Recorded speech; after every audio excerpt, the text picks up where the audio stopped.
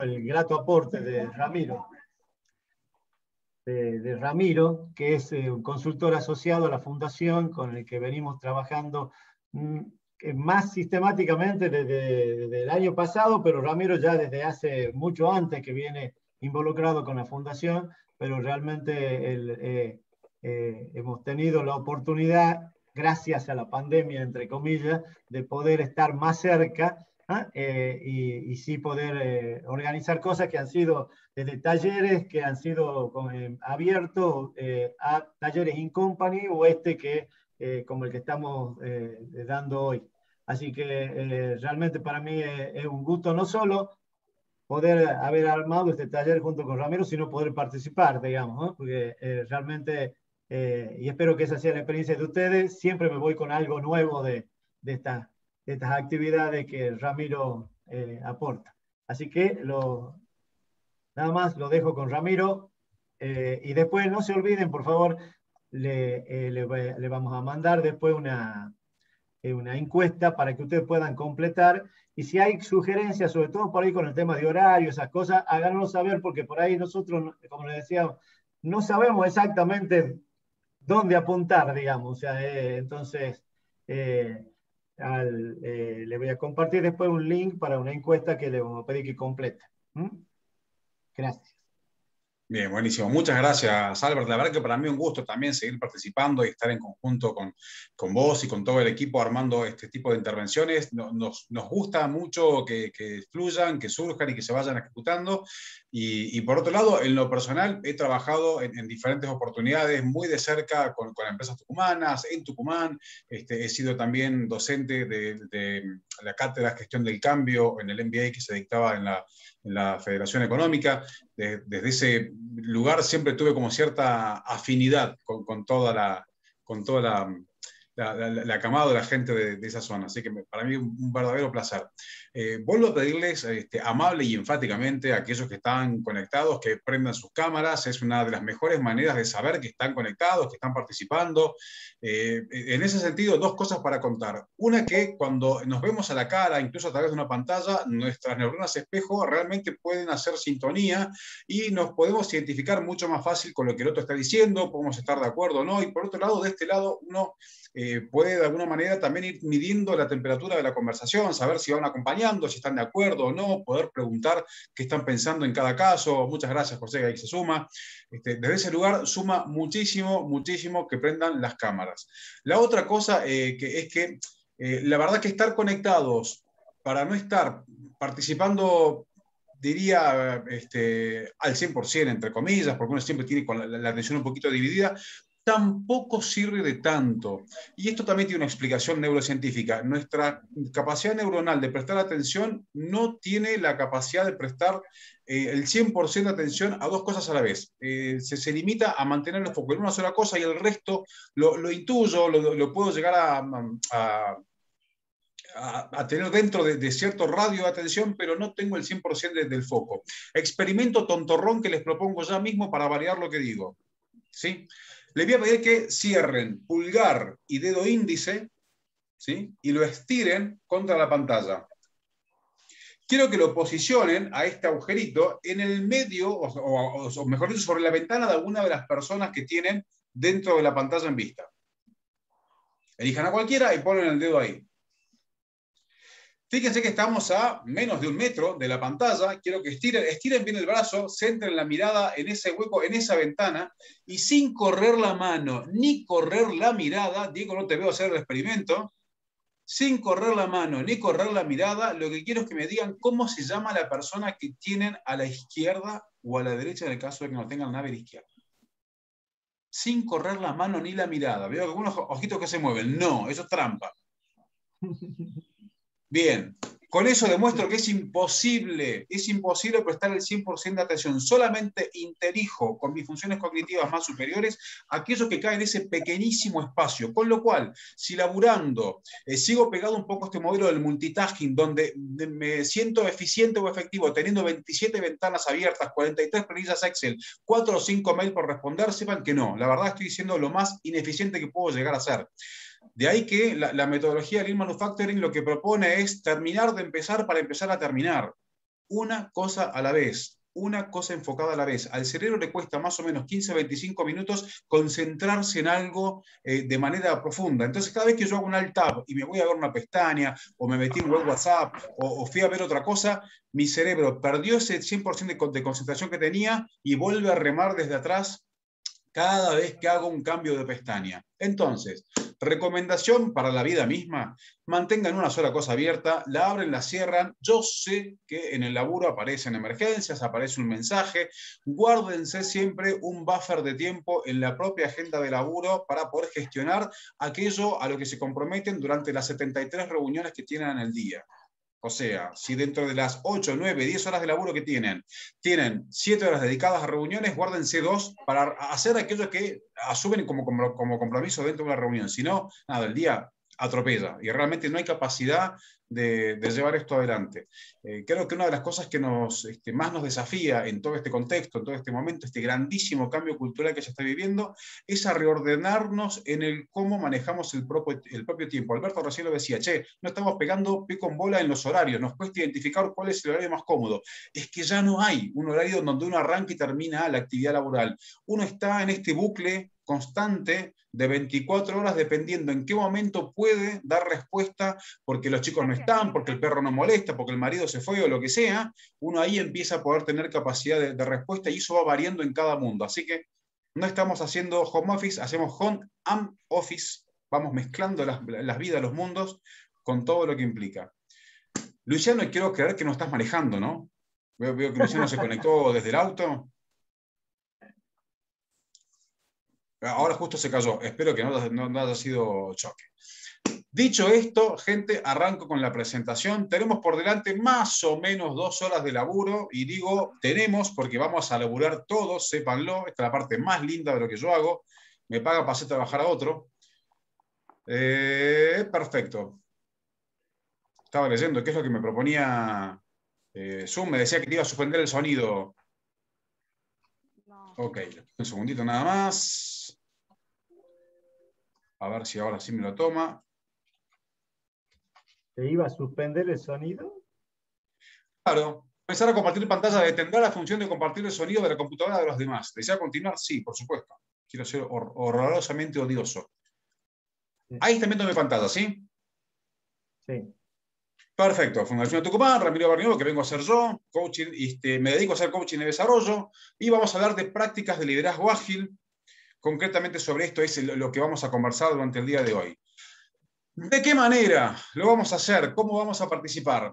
A manera de juego, quiero decir, eh, no se guarden preguntas para el final, si bien vamos a tener un espacio para hacer alguna especie de pimponeo de, de, preguntas y respuestas, la idea es que en cuanto surja alguna cosa para consultar o algún ejemplo para traer, lo tiren cuando aparezca. Para esto tienen la posibilidad de, utilizando la barra espaciadora de la compu, una vez que la aprietan, en Zoom funciona como el botón de un handy. Lo aprieto, se abre el micrófono, hablo, lo suelto y se cierra el micrófono. Así que si quieren hacer la prueba, este es el momento. Quiero que aprieten la barra espacial y digan hola.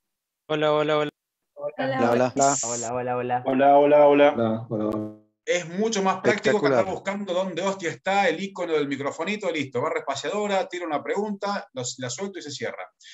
La otra es, la idea es que esto sea práctico, pragmático, que podamos bajar estas ideas a tierra. Así que habilito desde ya el todo muy lindo, pero.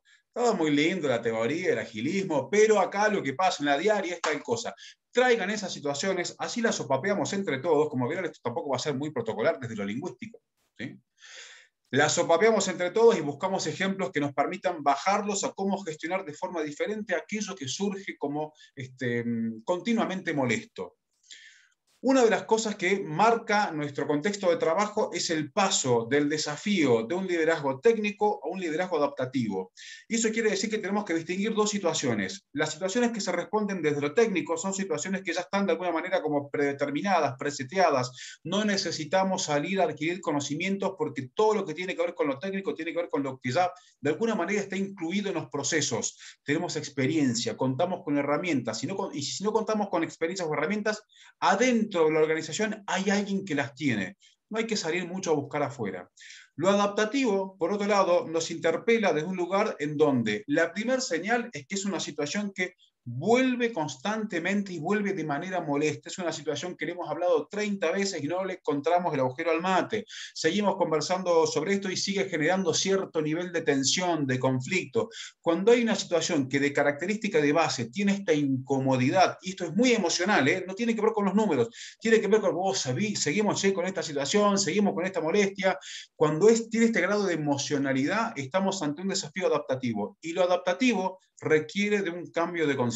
El desde qué lugar estamos nosotros mirando como paradigma esta situación para poder adquirir uno nuevo y entender que con las cosas que sabemos hacer, esto no cambia. Habrá que saber hacer cosas nuevas. Y ahí sí hace falta salir a investigar, a encontrar nuevas formas de pensar, a encontrar casuística, a encontrar otros ejemplos, a generar otras conversaciones.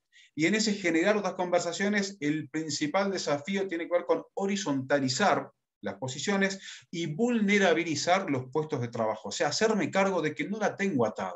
No sé absolutamente todo. Hay cosas que necesito preguntar, necesito validar, chequear, investigar. Desde esa vulnerabilidad sabia me despojo de la obligación antigua del liderazgo del deber saber para poder responder.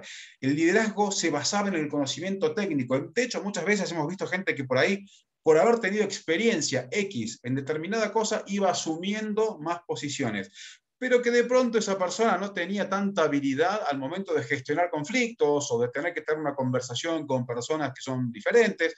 Entonces ahí nos damos cuenta de que lo técnico no termina siendo la única herramienta necesaria para el liderazgo, mucho menos en esta época, donde todo cambia tan rápido y lo que hace falta es poder tener diferentes formas de componer una respuesta, de armar una respuesta. Habiendo dicho todo esto como preludio, digo de nuevo, habilitadísimo el todo muy lindo, pero para que sopapemos situaciones y las vayamos encontrando cómo las bajamos a tierra en, en cada contexto.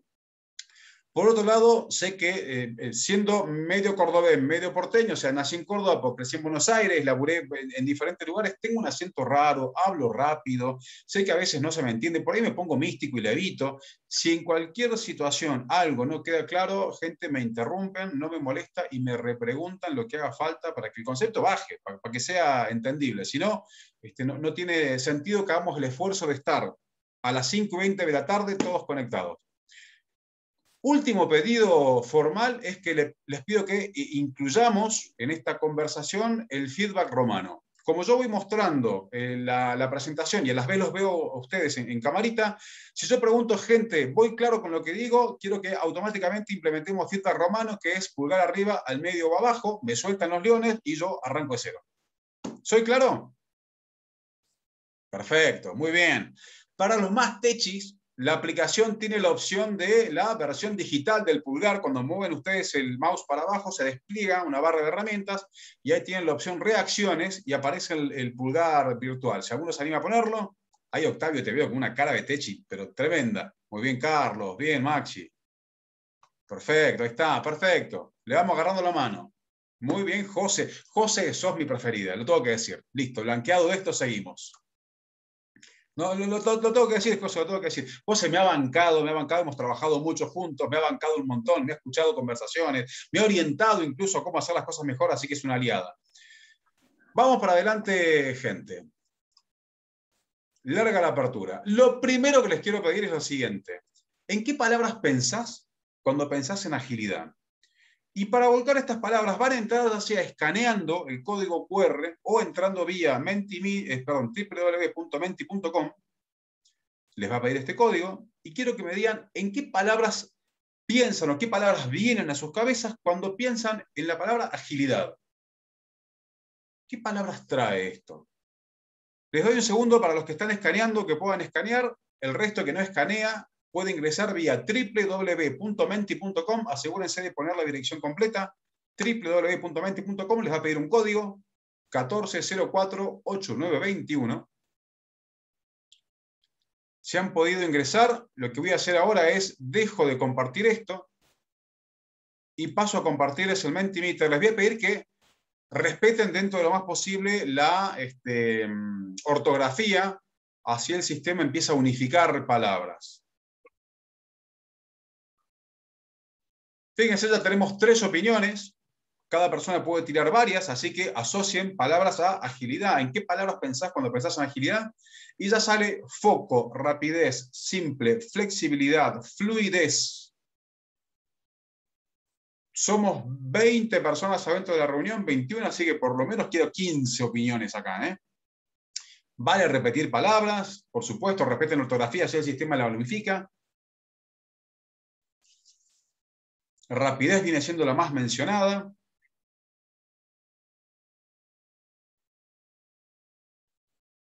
Ya tengo cinco votantes. Vamos, gente, súmense.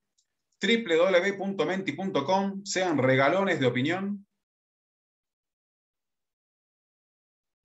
Ahí van siete. Flexibilidad, entregables. Me gustó, entregables. Inteligencia simple. Ansiedad, me encantó. Ansiedad. Practicidad, crecimiento. Sigue destacándose la palabra rapidez como principal. Ya vamos 9, 10, 11. Cuatro más y soy un tipo feliz. Cuatro más que ingresen a www.menti.com. Ahí ven que el código es 14048921. Ya vamos 13.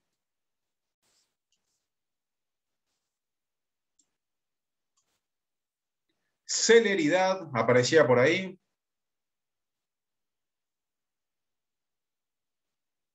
Practicidad, ansiedad, fluidez, flexibilidad, entregables, foco, crecimiento, habilidad, inteligencia, eficiencia, simplicidad. Estaba entregables por ahí. Si entra uno más, nada. No molesto más.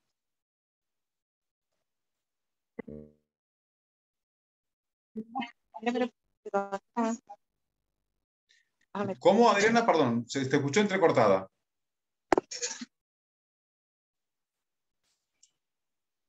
Bueno, ahí estamos 15. Perfecto. Con esto me alcanza, me como muestra. Fíjense que evidentemente la palabra más mencionada tiene que ver con rapidez. Si alguna le sigue en tamaño es fluidez. Y después viene foco, simple, eh, y flexibilidad, se ve que tuvo una o dos, perdón, dos o tres menciones, y, el resto más o menos por ahí, una, una mención con suerte en cada caso. La palabra rapidez de alguna manera es la que más aparece cada vez que hacemos esta pregunta, cuando empezamos a pensar desde los marcos ágiles de trabajo, y, aparece como una especie de eh, intención y a la vez como condicionante, como si ser rápido tuviera que ver con ser eh, ser ágil. Y no siempre es así, no siempre es así. De las palabras que más salieron, eh, o de las palabras que salieron, las que más, más tienen que ver con esta, este, este pensamiento ágil, esta modalidad ágil de trabajo, tiene que ver con la, fluidez, tiene que ver con los entregables y tiene que ver de alguna manera con la simpleza, con lo simple, lo flexible también. Más, mucho más que con la rapidez. Y ya vamos a ver por qué. Muchas veces confundimos situaciones que eh, por ser veloces deberían ser ágiles y no son sinónimos. Dejo de compartir esto, así nos adentramos un poco más en, este, en este análisis y paso a compartir de nuevo mi, mi, PPT. Antes, antes de ir a eso, les quiero preguntar quiénes de ustedes ya trabajan con metodologías ágiles o por dentro de marcos ágiles. Levante la mano quién trabaja con Scrum o, trabaja con Design Thinking. Ahí Octavio levanta la mano media tímida, Carlos también. Cuéntenme más o menos cómo lo aplican, qué están haciendo. Normis también este, levanta la mano. Cuéntenme qué están haciendo. E, ¿En qué... no, son esquemas muy, digamos, netamente ágiles, pero algunas herramientas, digamos, Scrum, algún, eh, los Spring, eh, eh, trabajamos con eso. Marisa también, que trabaja conmigo, arma como sus sprints semanales o, mensuales, mejor dicho. Por favor, me Vamos a, desactivar primero el audio, además de en los oídos, pobrecito. Em, pero algunas herramientas de metodologías ágiles venimos trabajando. Ya tuvimos algunas experiencias antes, eh, algunos cursos más orientados a lo que es el Scrum, digamos, la informática, le, aplicado a la informática, pero algo estamos haciendo en sistemas. Bien, bien, perfecto. A ver, hay una distinción técnica que es media ñoña, pero que existe, y es que Scrum no es en sí una metodología, es un marco de trabajo en donde encajan metodologías ágiles, donde, por ejemplo, entra el design thinking, entran las estructuras liberadoras, diferentes formas de armar o diseñar esquemas de pensamiento que lo que buscan es la innovación, el dinamismo, la agilidad, la inclusión de diferentes formas de pensar para generar soluciones este, que sean eh, innovadoras o alternativas. Roberto levantaba la mano, no sé si para decir que él también trabaja con metodologías ágiles o porque quieres comentar algo, Roberto. No, no, justamente lo que comentaba Octavio así. Perfecto, perfecto. Eh, Normi, ¿alguien, ¿alguien, quiere comentar cómo están aplicando lo, que hacen desde la agilidad? Eh, trabajo junto con Octavio y Roberto, así que básicamente lo mismo. Bien, bien, perfecto. O sea, toman partes del marco Scrum, las se aplican más allá de que no sea Scrum puramente este, ortodoxamente aplicado. Perfecto, es un muy buen paso, es una forma intermedia de ir llevando diferentes procesos a este, a este formato. Pregunto esto para saber más o menos en qué medida se están aplicando herramientas y también para ver un poco la, la temperatura de qué tanta profundidad podemos dar para un lado o para el otro. Dado que tenemos estos dos segmentos, gente que ya está aplicando algo y gente que aún no aplica herramientas que tengan que ver con, las metodologías ágiles o con el marco ágil, les voy a pedir que tengan un manto de piedad conmigo y vayan animándose a hacer preguntas que calcen en las situaciones propias. Yo no me voy a ir ni para un lado ni para el otro, voy a tratar de mantenerme al medio, vayan trayendo casos, así los, vemos, los vamos aplicando y los vamos bajando a, a tierra. Vuelvo entonces ahora sí a mi presentación y vamos para adelante. A ver. Lo primero que tenemos que tener en cuenta para generar espacios de trabajo de agilidad tiene que ver con el empoderamiento. Y el empoderamiento desde una mirada muy pragmática y muy concreta. A mí me gusta abordarlo de esta manera. El empoderamiento en concreto para mí tiene dos espacios de gestión y un tercero muy tentador, pero que no suman mucho. El primer espacio de gestión tiene que ver con ese campo en donde yo, ni con más presupuesto, ni con más autoridad puedo ejecutar acciones. Ese espacio donde yo, tomando con eh, total autonomía algunas situaciones que no están totalmente demarcadas por la cultura, quiero decir, no están lo que está escrito en piedra que no se puede mover, yo puedo actuar, ese es mi mejor campo de acción. Mi base de empoderamiento, el, el 90-80% de mi esfuerzo de acción tiene que estar enmarcado en este lugar donde vuelvo a decir, la condición es que no necesito ni más autoridad ni más presupuesto para poder tomar decisiones. A veces el campo parece muy reducido, porque son pocos los espacios donde no tengo necesidad de contar con más presupuesto o más autoridad para generar algún cambio. Sin embargo, en esos espacios realmente es ahí donde yo puedo generar una nueva cultura de trabajo. Y como la cultura de trabajo depende de la calidad de conversaciones que se vayan dando y a la vez depende de aquellos, aquellos gestos que se pueden sostener en el tiempo, ¿acaso puedo ser un gran influencer del cambio, una persona que realmente moviliza la acción, atrayendo a nuevos actores a esta nueva forma de hacer las cosas? El segundo espacio donde yo puedo volcar parte de mi intención, parte de mi esfuerzo entre un 20 y un 10%, es el campo de la influencia tiene que ver con aquellos aspectos en donde yo no soy la persona que decido, no depende directamente de mí, pero si yo presento la información adecuada, de la manera adecuada, a la persona adecuada, puedo influenciar en la toma de decisión.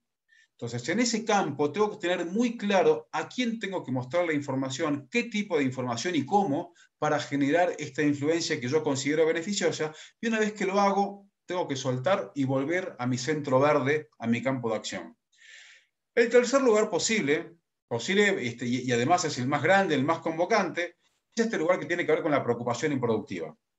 Este lugar, evidentemente, es el espacio más grande, el círculo más grande, es un lugar donde entramos todos. Ahí podemos todos sentarnos en un bar a tomar un café y decir, qué terrible, qué barbaridad, cómo funcionan las cosas, mira qué mal esto, mira qué mal lo otro, es un lugar donde podemos hacer un chinchín, cada cual se, descarga un poco, hace una queja o planta posición, nos sirve para sociabilizar, pero ninguno tiene campo de acción ahí. No hay, no hay nada de lo que nosotros podamos decir que pueda generar un cambio.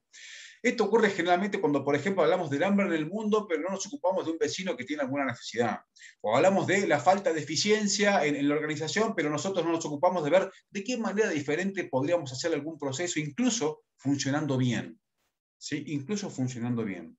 Entonces, en este espacio de preocupación improductiva, está bueno, es lindo, es divertido, porque ahí cada cual planta bandera, tiene su posición, hace política y habla, expresa ideas elocuentes, pero hay que bajarse rápidamente de ese pony y poder sentarse en el lugar donde realmente algo podemos hacer, que es nuestro lugar más cercano al centro de lo verde mientras mayor autonomía tenga en la decisión y en la necesidad de presupuesto para generar este, algún cambio, ahí es donde yo tengo que apuntar todos mis cañones y a partir de acá vamos a generar todo lo que venga por delante en nuestra charla respecto de agilidad. ¿Sí? ¿Alguna pregunta en, en este punto? ¿Algo que llame la atención? ¿Algo para agregar, gente? ¿Tan claro estoy diciendo? Qué divino Esto tiene que ver con lo que del círculo de, de, influencia, el círculo de preocupación que habla Kobe, ¿no es cierto? O sea, eh... Kobe, lo menciona, lo menciona muy parecido, la verdad, sí, Kobe lo menciona muy parecido. También habla, habla de algo similar, eh, ay, se me fue el nombre, ah, eh, Simon Sinek, que habla del círculo ah. de oro que él también habla de este, la construcción del sentido, desde el para qué hacemos las cosas. Tiene una distribución parecida. Después, si quieren, lo pueden googlear y van a ver que lo, que aporta fundamentalmente la mirada de Seneca es cómo convierto los objetivos que tenemos que llevar adelante en objetivos cargados de sentido, porque el sentido es lo que moviliza a la acción. Cuando realmente hay sentido en el para qué hacemos las cosas, ahí aparece la motivación intrínseca. Cuando no existe el para qué hacemos las cosas o no está linkeado, ahí aparece la, actuación un poco más como espontánea o esporádica, ¿no? el compromiso más espontáneo o esporádico. ¿Alguna pregunta respecto de esto? ¿Vamos bien? Perfecto. Gracias por el feedback romano. Vamos para adelante entonces. Lo primero que les quiero contar, es esto seguramente ya lo conocen, venimos de este entendimiento a partir de los 80 del mundo buca, concepto que seguramente ya, ya habrán visto, esto que tiene que ver con lo volátil, lo incierto, lo complejo, lo ambiguo. Lo han, lo han escuchado más de una vez seguramente, ¿no? Perfecto. Hoy por hoy, a partir de esta situación de pandemia, aparece este nuevo entendimiento que tiene que ver con el mundo Bani, donde la B, lo que cambia fundamentalmente, tiene que ver con lo quebradizo, Brightel, en, inglés, y cómo esta situación quebradiza como, digamos, este, pieza fundamental o componente fundamental de los contextos en los que interactuamos, genera todo lo otro por añadidura, genera situaciones de ansiedad, una necesidad no lineal, o mejor dicho, un espacio no lineal para la actuación y un cierto aspecto incomprensible de los contextos. O sea, siempre hay algo que nos queda por fuera de nuestra capacidad de comprensión y a eso también hay que gestionarlo. Lo quebradizo tiene que ver con lo siguiente. Por ejemplo, en pandemia apareció este, el, virus, aparecieron algunas vacunas, parecía que íbamos más o menos manejando la situación hasta que apareció Delta y nos rompió todos los esquemas. Y apareció de un momento para otro, fue impensable. En ese sentido es quebradizo. El contexto va cambiando de una manera tan veloz que lo que podemos llegar a planificar se puede quebrar de un día al otro. Con lo cual demanda de parte nuestra, como aquellos que planifican, un estado de cierta parsimonia, de conciencia y de desapego que nos permitan adaptarnos rápidamente a diferentes contextos.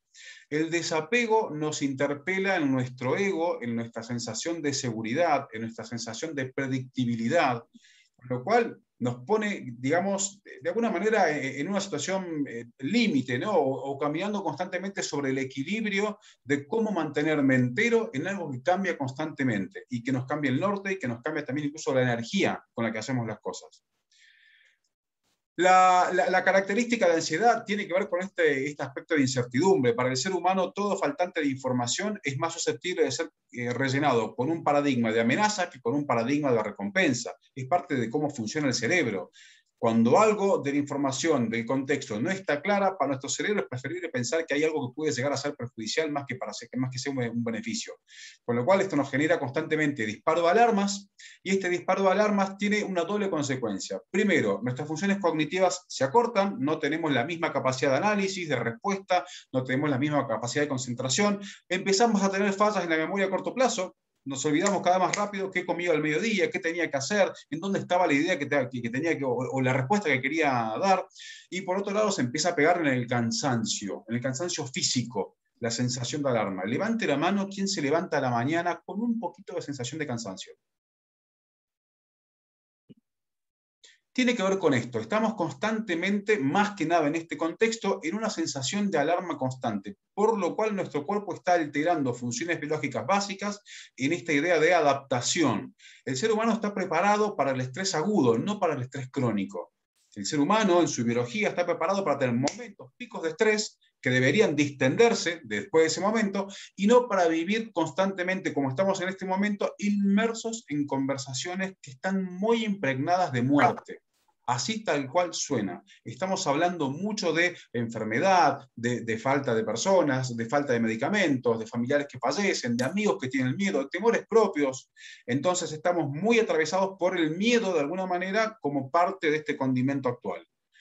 Miedo que se trasluce en cómo me siento en el laburo, en cómo gano visibilidad. Che, si no estoy dispuesto 24/7, pueden llegar a pensar que no tengo predisposición a participar de las diferentes soluciones. Entonces esto de alguna manera nos autoexige a ir mostrándonos este, disponibles un domingo a las 7 de la tarde, lo cual nos va quemando el coco y empezamos a tener cada vez menos rendimiento. ¿Están de acuerdo con lo que digo o suena muy loco? Bien. Tal cual. En este contexto, en este contexto donde lo que buscamos ganar es fluidez, tenemos que buscar las mejores estrategias para bajar la cantidad de ansiedad que se nos dispara por este mundo que tiene carencias de información. No hay mucha magia, porque hay cosas que vamos a seguir sin poder saber. Lo importante es entonces cómo gestiono lo que sí sabemos. Incluso saber que no sé. ¿Cómo gestiono eso? ¿Cómo me hago cargo de esa parte que no sé para poder manejarla? Tal vez no para dejarla en un gris o en un oculto, sino para blanquearlo y a partir de ahí salir a buscar información que me permita complementar eso que yo desconozco. Y si no tengo cómo conseguirla, al menos gestionar con la poca información que tenga. Una de las grandes cosas que más impacta en este contexto es que a veces, incluso teniendo poca información, la compartimos de forma segmentada. No compartimos todo lo poquito que sabemos. Entonces vamos haciendo como un cascadeo de incertidumbres y cada vez llega menos a la base de la pirámide, en el caso que trabajemos de formato piramidal, y cuando es un equipo horizontal no tenemos conversaciones abiertas, conversaciones vulnerables, donde yo pueda decir abiertamente, gente, la verdad, acá no sé qué va a ocurrir. Muchas veces se plantea la situación, che, yo no sé qué decirle a la gente porque posiblemente esto cambie, y decíselo así. Gente, hoy vamos para acá, mañana posiblemente esto cambie, es la regla de juego es adaptarse o elegir bajarse, pero al menos que sepan cuál es la pequeña realidad que podemos llegar a tener dentro de nuestro paraguas de conocimiento. ¿sí?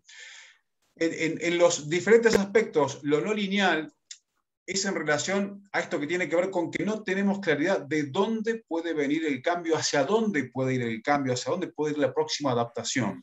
Ya no hay un camino lineal, la tecnología disparó en tantos sentidos que dispara a la vez soluciones que también pueden ser muy diversas, muy dispersas y cada cual tendrá que poder elegir de la manera más sabia posible cuál es la que mejor adapta en el contexto, en ese momento y hasta dónde adapta.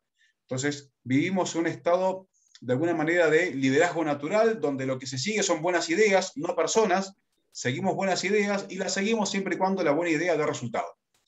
Cuando la buena idea dejó de, dar resultados, generalmente lo que ocurre en el equipo es que hay una, una especie de decaimiento, el ánimo un poco tiende a irse para abajo porque entramos otra vez en faceta de incertidumbre, hay que animarnos a caminar esa faceta, hay que romperla, si no la rompemos podemos caer en el status quo, mantenerlo conocido, entonces hay que caminar ese momento de desconocimiento, atravesarlo para llegar así a una verdadera innovación. Entonces, implica bancarse la incomodidad del no saber para poder ir aprendiendo justo a tiempo y no por las dudas. ¿sí?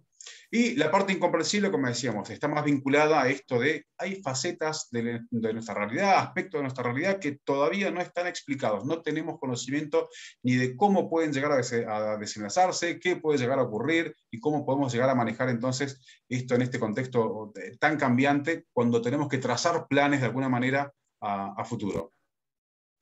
¿Alguna pregunta de esto, gente? ¿No? Perfecto. Vamos para adelante entonces. Bien, agilismo. Yo les quiero mostrar una imagen y quiero que ustedes me digan qué es lo que ven, más allá de lo evidente, como diría este, He-Man eh, con la espada del augurio, acá me fui a los 80. ¿Qué ven en este viajero? ¿Qué podrían decir de este viajero? Vamos para atrás, así no mezclamos las primero? Sí. Ok, lleva demasiadas cosas, muchas no va a usar.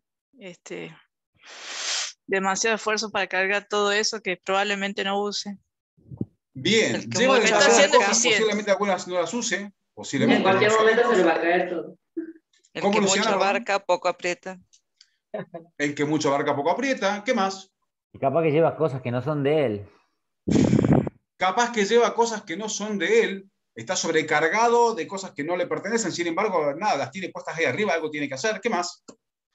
Va al fracaso seguro, va al fracaso seguro, porque en algún momento se le van a caer, las va a perder, etcétera. Independientemente de eso, no pasa por la puerta. No, no pasa. Carlos, muy buen punto. Ahí fuiste más allá de lo que yo decía, de la espada o del augurio, más allá de lo evidente. Este tipo necesita una logística particular para moverse, ¿no? Tampoco se está moviendo. Está Bueno, parado y mirando foto. qué hacer. Se supone que es está que- moviendo. sí. Pero es que Podría no sé si se puede movimiento. Ahora, En el mover. caso de que quiera moverse, Normi, este tipo Se le cae eh, todo. necesita, necesita una logística diferente, una puerta más grande, evidentemente, como decía Carlos. Por otro lado, si esta persona, supongamos que consigue salir de este espacio y se quiere tomar un taxi, ¿qué necesita para que le lleven todo esto? Una, un Un colectivo. tráfico, un ómnibus. Un Un tráfico. tráfico, un colectivo, Sí. 23 taxis. El costo de moverse implica una logística de nuevo diferente. ¿A qué le está prestando atención? La cantidad, no a la Está prestando calidad. atención a lo de arriba cuando la base es un desastre. También. Ujú. Pensaba Bien. cómo ha logrado, cómo ha logrado ponerlos así. Es verdad que el tipo tiene una maestría en Tetris, en, en Tetris, perdón. tiene una maestría en Tetris. Es cierto también de que si tiene que estar atento a todo lo que va llevando, a qué cosas no le puede prestar atención. Al camino por donde va. El Camino. entorno, Camino. el entorno que tiene.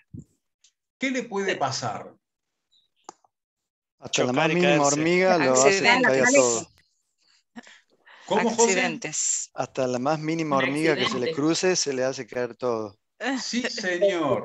Sí, señor.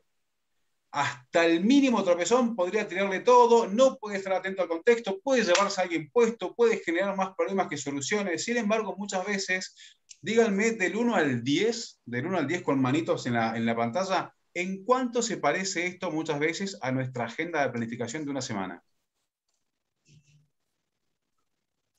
Ahí tengo. Bien, 8, 5, 50-50. 8, 50-50, 7. Fíjense que venimos de un modelo, de un modelo que gestiona, gestiona desde el estar saturado. Quiero decir, si no nos mostramos con 77 tareas, pareciera que no estamos siendo eficientes. Es un, un modelo falaz, engañoso, donde nosotros lo que queremos ver es a una persona que está al palo, a mil, con mil cosas a la vez, porque si no está al palo, al mil, con mil cosas a la vez, pareciera que no está entregando lo mejor de sí, no está entregando su milla extra.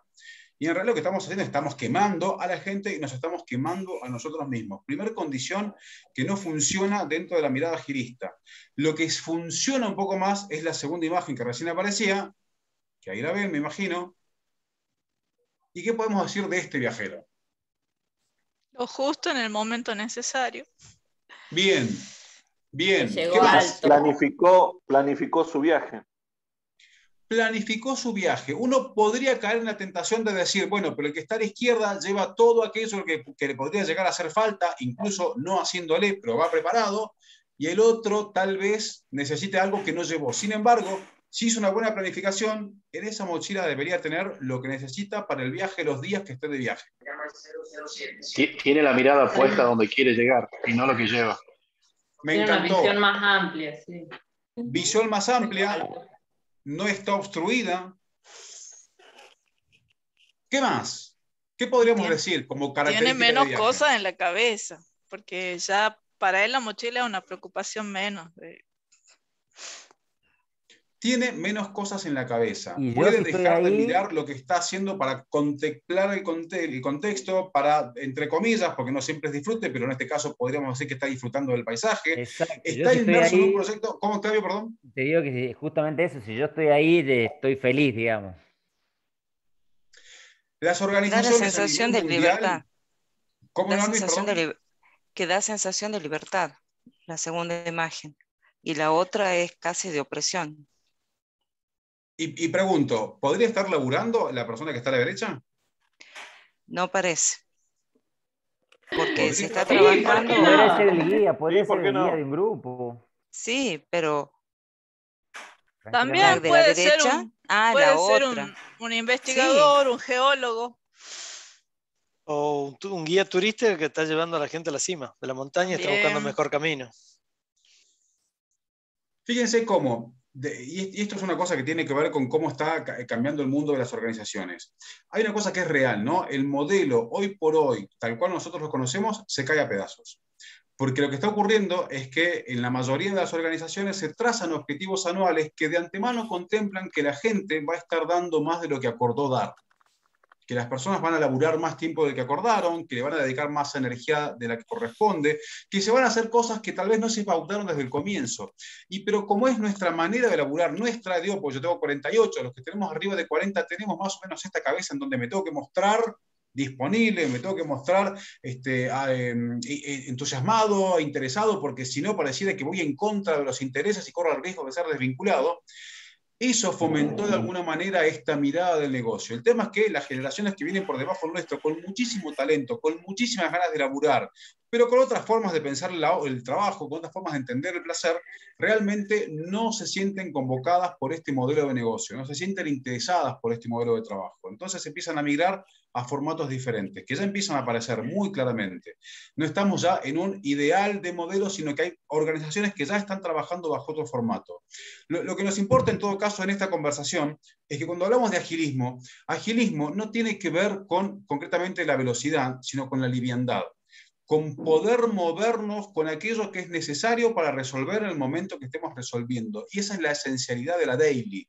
La reunión diaria que se hace de 10 minutos en algún momento del día, lo que tiene como eje es preguntar tres cosas. ¿Qué estás haciendo? ¿Qué vas a hacer hoy? ¿Qué necesitas? Para hoy, no de acá tres meses. Entonces, constantemente estás fomentando esta idea de foco en lo que estoy haciendo ahora, basado en esas tres preguntas. ¿Qué estás haciendo? ¿Qué vas a hacer hoy? ¿Qué necesitas? Y lo que hace en todo caso el responsable de este equipo, que puede ser un Scrum Master, puede ser este, un coordinador, lo que hace es facilitar los recursos para que el equipo lleve adelante lo que se propone llevar adelante en el día de hoy. Facilita. Y esto tiene que ver con hacer el camino fácil. ¿Sí? Esa es una, de las ese- herramientas que, que utilizamos en sistemas. Nosotros tenemos las dailies, pero con las preguntas ¿qué, vas a, qué hiciste ayer? ¿Qué vas a hacer hoy? Y si estás con algún impedimento. Si tenés Es algún- básicamente lo mismo, Octavio. ¿Qué resultados les da? No, es buenísima. Es buenísima. eh, y bueno, nosotros tenemos 15, 20 minutos de reunión formal, pero eh, armamos un 15 minutos antes donde podemos hablar de temas de joda. O sea, 15 minutos nos tomamos para hablar de joda. No de pasa, joda, de- de la vida, porque claro, cómo andamos. eh, o Tiene sea, miedo, Carlos. Pero Sí, no, no, pero bueno da el para hacer para la broma. Porque era- No, no, era aclararle que no es Para joda solamente. Era, era un, Se entendió, se entendió lo que dijo Claudio. era No te era un- preocupes, sí se ha entendido. era un espacio muy importante que teníamos antes cuando teníamos la presencialidad de, de la buena onda que hay, que hay en el grupo y, y- y bueno, le damos esos, esos 15 minutos de rienda suelta a cagarnos de risa, digamos, literal. Está perfecto, está perfecto, y estoy totalmente de acuerdo. Dentro de lo que es la, metodología del trabajo virtual, de la facilitación de equipos virtuales, es lo que comúnmente se llama el café de pasillo. Sí, la reunión arranca a las 2, 2 menos 10 nos juntamos para charlar de la vida. ¿Cómo están los chicos, el perro, cómo vení, qué pasó, este, resolviste tal no? O sea, hablamos de cualquier cosa, nos reímos y esos 10 minutos son para sociabilizar, para generar esa especie de amalgama social que, nos, que de alguna manera viene de los orígenes del ser humano, ¿no? Donde el ser humano se ponía o se juntaba alrededor del fuego y desde ahí conversaba. De alguna manera, lo que se busca con el agilismo es volver a la fogata, justamente, es volver al espacio reducido de trabajo. Un equipo ágil no tiene más de 10, 12, de 10 o 12 integrantes, como mucho, como mucho. El número ideal para un equipo ágil ronda entre los 5 y los 8, que son las personas que llevan adelante una tarea determinada. Entonces, eso de por sí demanda esta conversación más cara a cara, más este, horizontal, más eh, eh, dinámica en el sentido de rápidamente chequear, chequear cómo estás, qué venís haciendo, qué vas a hacer, qué necesitas, rápidamente en 10 minutos, no tiene más de 10 minutos esta reunión y automáticamente pasamos a la acción. ¿Cómo pasamos a la acción? Con una planificación previa en la que determinamos cuál es el backlog de tareas o la lista, el ranking de tareas, y es justamente eso, un ranking. Una de las peores consecuencias a las que nos lleva este nivel de abrumamiento con el laburamos, afanados por entregar valor constantemente, es la incapacidad de priorizar.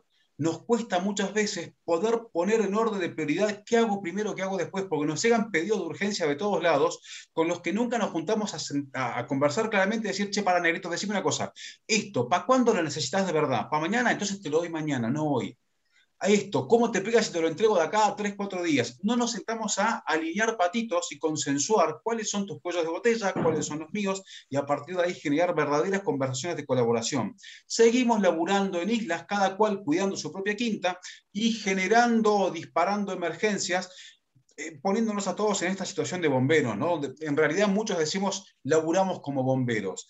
Y es una falacia, porque no hay nada más planificado que la emergentología. Eh, el bombero sabe exactamente cuando suena la alarma qué es lo primero que va a hacer. Tiene las prioridades marcadas desde el cero. Yo, eh, vieron que hace poco fueron las Olimpiadas y hubo una frase de una, de una piba cordobesa que competía que me encantó.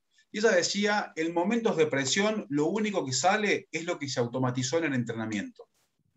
Y me parecía de una profundidad espectacular, porque digo, qué loco, realmente hay que sentarse a planificar, a trabajar con el equipo sobre cómo vamos a trabajar en los momentos de presión ese nivel de acuerdo prehecho, preestablecido, es el que nos va a determinar de antemano cuál va a ser nuestro techo de máxima performance. Si no tenemos esos preacuerdos hechos, al momento de presión, el cerebro tiende a ir a sus comportamientos más básicos. Entonces se anulan algunas funciones, no tengo mucha capacidad de análisis, voy a lo automatizado, a lo aprendido. Y muchas veces lo aprendido es justamente, o lo automatizado es justamente aquello que queremos cambiar. Entonces, fíjense cómo podemos llegar a caer en nuestras propias autotrampas por no dedicarle tiempo a esta conversación de planificación, de alineación de patitos, de poder horizontalizar y viéndonos no como contrapuestos, sino como complementarios, de qué manera podemos coordinar mejor los esfuerzos. ¿Soy claro con la idea, gente? Sí. Perfecto. Vamos para adelante entonces. ¿Cuál es la kriptonita del agilismo? Verán que estoy medio ochentoso con las referencias. Te delata la edad. Me delata la edad totalmente y la ñoñez, la ñoñez, fanático de, de Volver al Futuro. así que Nosotros los menos de 40 no entendemos muy bien lo que Somos estamos todos jóvenes, somos todos jóvenes. Esto era un cómic. ¿Cuál es la kriptonita del agilismo? ¿Cuál creen ustedes que puede ser lo peor que yo le, le puedo querer meter al agilismo? La- el agilismo yo creo que la clave es la comunicación. Bien. Para mí la clave es la comunicación. Eh, yo creo que Marisa, y respondiendo, que- respondiendo a esta pregunta, ¿qué puede ser lo peor que yo le puedo querer meter al, al- al agilismo? ¿Cuál sería la kriptonita? El, el- el La peor veneno. burocracia. La burocracia. La burocracia. Muy bien, va por ahí porque tiene que ver con lo siguiente, el perfeccionismo. El agilismo se basa en la filosofía de que nos conviene en un proceso de aprendizaje equivocarnos rápido y barato, con lo cual no salimos con lo perfecto. No tenemos tiempo de armar la respuesta perfecta, tenemos que armar la respuesta que más aplique en este momento y que nos permita ir iterando, haciendo pruebas con el cliente, con aquella persona a la que le damos solución, para que podamos ir probando, testeando soluciones que en el camino se vayan armando como la ideal. Pero al cambiar tan rápido el contexto, no nos podemos atar al perfeccionismo por diferentes cosas. Una, muchas veces el contexto está enrarecido, no tenemos toda la información. Dos, puede cambiar mañana, así que lo que yo pensé eh, para perfeccionarlo en una semana, tal vez en una semana quede obsoleto. Por otro lado, la necesidad es ahora, no en una semana. Entonces, tenemos que buscar de qué manera yo entrego lo que se llama el mínimo producto viable. De qué manera yo entrego una mínima solución ahora que permita ir aportando valor en esto que mi cliente interno o externo me está pidiendo. Con lo cual tengo que validar también muy bien con estas partes implicadas este criterio de entrega de solución, donde me hace falta que trabajemos juntos, porque si le voy a entregar algo chiquito para que lo pruebe, me hace falta que lo más rápido posible me dé feedback. No me sirve que una persona me pida una propuesta y cuando yo se la envío me dice, ok, lo veo y en 10 días te respondo. En 10 días, negro, me cambió todo. Me cambió la inflación, me cambió el dólar, ya el presupuesto que te armé no es válido. Entonces tenemos que validar, valga la redundancia, este alineamiento de cómo trabajamos con todas las partes con las que agregamos valor, internas y externas. Mientras más alineamiento, mejor. Y otra cosa que es importante, pequeño paréntesis, en cualquier organización que no esté implementando metodologías ágiles o un, mindset ágil de trabajo, sepan de que esto es gradual. Lo ideal es identificar pequeños proyectos de laburo donde vayamos haciendo esta prueba piloto de trabajo, implementando alguna metodología, implementando un marco y viendo cómo nuestra cultura se adapta a diferentes formas de resolver. De a poquito vamos implementando esto hasta que vamos escalonando hacia las diferentes partes de la organización. ¿Aplica en todos los casos? Mi opinión es que no siempre, no siempre, hay que ser muy cuidadoso. Hay situaciones donde, nada, por procesos y por formas de trabajar, el agilismo no es la mejor manera de elaborar, no hace falta, no es la manera en la que uno puede optimizar el resultado. Hay que identificar sabiamente en dónde sí, en dónde no y en los que encuentro que sí, en qué grado voy generando ese cambio, con qué pequeño proyecto para equivocarnos rápido y barato. Implementar algún, forma, algún formato de trabajo ágil y que sea que equivocarse, que sea rápido y barato. Y acá aparece un concepto clave y es el todavía. El todavía tiene que ver con la mentalidad fija o la mentalidad de crecimiento. Es una propuesta de Carol Dweck, lo pueden googlear, lo que ella propone es que el ser humano viene seteado por nuestra cultura, en nuestro, en nuestro proceso de volvernos funcionales, a entregar resultados, pero no a caminar o disfrutar del proceso. Todos fuimos educados para dar la respuesta correcta, pero no para hacer el, el proceso de investigación de la propuesta o de la respuesta correcta. Entonces, lo que valoramos con verde o con rojo es el resultado final. Te pongo un 10, te pongo un 8, te pongo un 5 cuando estamos en situación de aprendizaje o en situación de adaptación, lo que tenemos que aplaudir, tenemos que este, vitorear y alentar es el animarse a caminar el proceso, o sea, de por sí el proceso más que el resultado porque en el proceso lo que aparece es la voluntad, y aparece la voluntad con algunos temores, entonces aparece a veces más compromiso cuando las cosas me van saliendo más o menos, y cuando las cosas no me salen tan bien, el compromiso decae. Tengo que aplaudir las ganas, tengo que aplaudir el esfuerzo para que se mantenga la intención de experimentar y de aprender cosas nuevas. Si voy a esperar solamente el resultado para, para levantar el pulgar, vamos a tener una población muy pequeña que se anime a hacer cosas diferentes muy pequeña, porque la mayoría necesitamos de la aprobación más rápido no tenemos tanto coraje, no tenemos tanta valentía y necesitamos esta especie de, de, de, caricia al alma, de alimento al ego, de que vamos avanzando, bien, te felicito. No salió todavía como esperamos, pero el todavía es clave. No está tal cual esperamos, todavía. No me sale tan bien como yo quiero, todavía. El todavía es un manto de piedad que culturalmente ayuda al desarrollo. ¿Soy claro con lo que digo? Sí. Bien. Hasta acá, ¿cómo vamos, gente? Ya pasó casi una hora de todo esto. Perfecto. Seguimos entonces. Les quiero contar tres principios que tienen que ver con la metodología Scrum, que para mí son principios que al momento de querer generar un mindset ágil de trabajo, son las tres cosas claves que hay que empezar a elaborar para poder después instalar una metodología o un marco concreto ágil de laburo. Para mí esto es fundamental para sensibilizar, para generar hábitos, para generar formas de trabajo que nos permitan después realmente implementar eh, la estrategia ágil. Hay una máxima que dice que toda estrategia es comida por la cultura en el desayuno apenas comienza la mañana. Podemos tener la mejor idea, podemos tener la mejor herramienta de gestión del desempeño, la mejor herramienta de seguimiento y control, pero si no tenemos cultura que dé soporte a eso, se cae en la mañana y aparecen todos los cinismos posibles y todos los sistemas paralelos posibles. Entonces, dicho esto, primero que tenemos que tener en cuenta es que todo ocurre en un marco de trabajo, es decir, todo tiene un marco de referencia que podemos vincularlo a un espacio X de trabajo en donde se compone tanto el espacio físico como el espacio energético de la persona, quiero decir en qué momentos la persona puede elaborar, y a la vez en un espacio concreto de, objetivos, de tareas que componen este marco de trabajo. Este marco de trabajo, además, en el 99,9% de los casos, está intersectado o está solapado con otros marcos, es decir, hace contacto con otras áreas con las cuales yo o en trazabilidad agrego o recibo valor. Entonces siempre tenemos que tener claro de que esto ocurre dentro de un marco en contacto con otros marcos. El primer principio que se pone en juego para empezar a fomentar el agilismo tiene que ver con la transparencia. La transparencia es la accesibilidad a la información. Cuando hay accesibilidad a la información, es decir, cuando la información de lo que yo hago, cómo estoy haciendo, en dónde tengo demoras, en dónde ya tengo las cosas listas, está accesible para las diferentes partes con las que yo agrego valor, ahí aparece la segunda clave que tiene que ver con la posibilidad de generar inspección. Inspección es la denominación técnica, pero que no se confunda eh, con la mirada del control. No se trata de controlar. Yo no voy a controlar cómo el otro hace. La inspección acá lo que nos facilita es saber en dónde estamos parados en este camino que nos propusimos de agregado de construcción de valor. Cuando yo puedo saber exactamente en dónde estás vos con lo que estás haciendo y yo necesito, o dónde estoy yo con lo que estoy haciendo y vos necesitas, ahí aparece entonces la verdadera posibilidad de adaptación. Y este círculo se completa en esta retroalimentación. Entonces, las tres patas que tenemos que elaborar primero tiene que ver con la transparencia, después tiene que ver con facilitar la inspección, o sea, que las partes puedan venir a preguntarnos abiertamente, che, ¿cómo venís con esto que acordamos? ¿Qué te hace falta? ¿Tenés demoras? ¿Ya está listo? Esta inspección nos permite entonces generar a todos los afectados la capacidad o la posibilidad de adaptarse.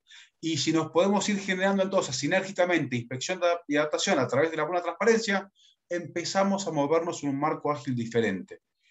Con lo cual hay varias cosas que romper para que esto funcione. Primero y principal, hasta acá, ¿esto queda claro lo que digo? ¿Resulta coherente, gente? Sí. ¿Alguna pregunta?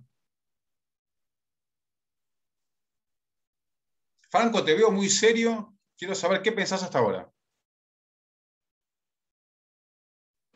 No, lo que por ahí me surge que vos estabas explicando es este, em, el tamaño cuando vos decís marco de trabajo, el que, estaba, el que está en la parte superior izquierda y el de abajo tienen diferentes tamaños. Sí, solo por una cuestión de layout de la pantalla, es solo para graficar de que los espacios se solapan. No, no, porque uno sea más grande que el otro necesariamente, ¿no? Yo puedo trabajar, por ejemplo. Pero tienen que ver con diferentes. Okay, no con diferentes actores. Eh, no, no, no, sí pueden ser diferentes actores también. ¿eh? Tengo que entender, por ejemplo, como okay. yo decía, yo como área de distribución trabajo en coordinación con compras, con logística, trabajo también con finanzas, con administración. Son diferentes marcos de trabajo donde ocurren determinadas competencias que son de, pertenecientes a cada área, pero que en sí mismas en algún punto se contactan. Sí. Esto rompe con el trabajo en islas, rompe con el trabajo en silos. Yo tengo que saber de qué manera le afecta al otro mi cumplimiento o no de determinados puntos de acuerdo o de agregado de valor, de determinados entregables. Tengo que saber cómo me afectan a mí o tengo que hacer saber al otro cómo me afecta a mí cuando el otro cumple o no cumple en tiempo y en forma o con los estándares esperados, con lo que yo necesito para poder construir mi parte del valor.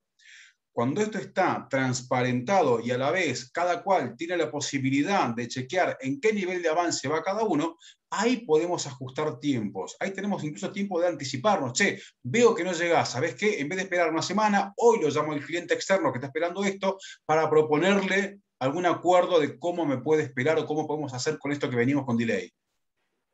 O al contrario, che, estamos cerrando antes, nos hace falta ya hablar con logística para que vayamos viendo cómo vamos a hacer para sacar X cantidad de mercadería o lo que sea, para que esto llegue al cliente final. ¿Soy claro con la idea? Sí, esa parte del final estaba claro, no, por ahí no capté exactamente a qué se referían los dos marcos de trabajo con diferentes tamaños, pero ahora ya quedó más claro. Bien, bien. La otra, parte de, la otra parte de alineación y de verificación y posterior adaptación sí lo había interpretado como vos lo estás explicando. Al pelo, al pelo. Y yo quiero resaltar una cosa, ¿no? Que es fundamental. El espíritu con el que se transparenta muchas veces nos hace sentir, nos hace caer en un modelo preexistente que tiene que ver con el buchoneo. Con el, che, si yo digo dónde estoy, me van a poder sacar la ficha de cómo hago, cómo no hago, este, o por ahí voy a quedar este, expuesto en alguna situación es una de las cosas que hay que romper en cualquier organización para que realmente el agilismo pueda hacer sentido. Si no, vamos a jugar a que somos ágiles, pero encubiertamente seguiremos jugando en silos, mostrando solo aquello que me deja bien parado y no aceptando con vulnerabilidad aquellas cosas en las que no estoy resolviendo bien. El, el expresidente del grupo Lego, cuyo nombre para mí es impronunciable, es, un nombre, creo que es holandés el, el apellido, impronunciable para mí, él siempre decía de que en su organización no se castiga a la gente por fallar, pero sí se puede llegar a castigar a una persona por no ayudar a tiempo o por no pedir ayuda a tiempo. Si yo veo que alguien necesita ayuda, tengo que dársela. Y si yo me estoy sintiendo en situación de ayuda, tengo que pedirla a tiempo, porque eso es lo que realmente puede generar un grandísimo impacto en los resultados. Entonces, no importa fallar, lo que importa es pedir ayuda a tiempo o dar ayuda a tiempo. Eso cambia radicalmente en cómo se mira el laburo y cómo se mira la compaginación entre áreas. Entonces, digo de nuevo, implica romper el laburo en islas, implica romper la sensación de que cada cual tiene que cuidar su quinta, porque si no rompemos eso de antemano, vamos a vivir en la falacia del agilismo y no va a funcionar.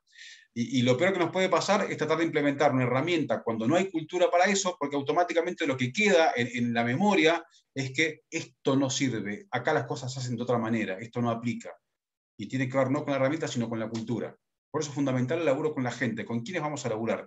Cuando yo decía de que tenemos que elegir un proyecto y un equipo para que vaya implementando de a poco un marco, una metodología ágil, implica seleccionar a aquellas personas que tengan de por sí estas capacidades, estas cualidades poder laburar con transparencia, poder pedir o dar ayuda, poder inspeccionar sin sentirse cuestionados, o sea, que alguien venga a mirar cómo laburo sin sentirme amenazado, y por otro lado, poder generar adaptación caso rápida. ¿no? Yo los elegiría por los valores, que tengan los mismos valores, porque a la persona los valores no le podés hacer cambiar. Y hay, gente, hay personas que ya, digamos, eh, los malos hábitos son difíciles de erradicarlo por más coaching que le dé. Entonces hay que elegirla bien a la persona que tenga valores. Entonces va a interpretar bien el agilismo, todo eso, y si no, no se va a sentir amenazado o acostumbrado a cizanear, este, bueno, hacer este, tener malos, malas conductas o malos hábitos. Yo creo que, que es clave ahí, porque cambiar a una persona, eh, si no, no va a solamente que cambie ella porque el contexto la obligue, pero eh, así, digamos, hablando de una mala persona, ¿no? que, que, esté saboteando o que se sienta amenazada porque en su condición humana ya es así, entonces lo, lo, lo transmite en su grupo de trabajo, digamos. Que elegir bien a la persona. Y esto que vos traes a colación, Marisa, de alguna manera pone en evidencia el, tamaño de la transformación que, implica, ¿no? Porque en algún punto tendremos que pensar desde eh, eh, selección de personal, desde selección y reclutamiento, el a qué personas y por qué las vamos a contratar. No solamente porque tenga un conocimiento técnico, sino porque tenga alguna habilidad social que le permita encajar en este formato de trabajo. Entonces, quiero decir con esto, el cambio es grande, es gradual, no es imposible y en esto de, la gradualidad del cambio, también es importante saber que tal vez dentro de una misma organización pueden haber áreas o gerencias que funcionen con un marco más en, este, el marcado, valga la redundancia, en el formato ágil y otras partes de la empresa en que no se trabaja de esta manera. Y también implica esto, ¿no? Saber elegir en dónde sí, en dónde no y cómo. Quiero preguntarles, antes de hacerlos laburar, ¿Cómo vienen hasta acá de energía? Llevamos una hora diez. ¿Vamos bien? ¿A qué hora sirve el café? Sí, todo el café nos sirve, mira, al menos en mi casa, en cinco minutos. Les propongo lo siguiente. Son 18, 9 minutos. ¿Les alcanzan 10 minutos de relax para aflojar la cabeza, elongar un, un poco, prepararse un café, mate, baño, lo que haga falta? Sí. Perfecto. Y 19 nos vemos acá entonces. Sí. Dale. Dale. ¿Volvemos por el mismo link? Sí, no, es más, no hace falta que te desconectes, puedes apagar cámara y, micrófono y listo. Bien, no te vayas, María, no, te vayas de la reunión. Pone, pone mute y apaga la cámara nada más. Ok.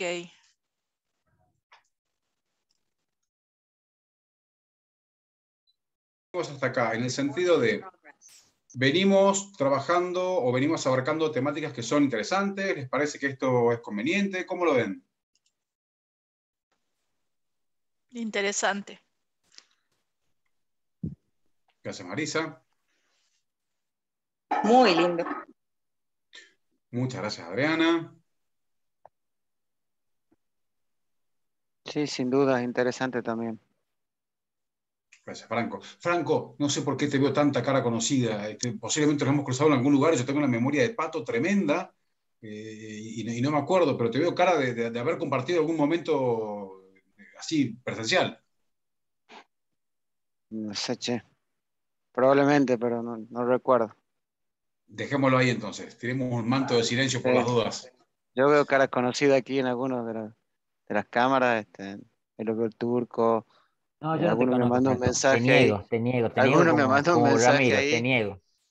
Este, pero. ¿Cómo anda Turco bien? Diego.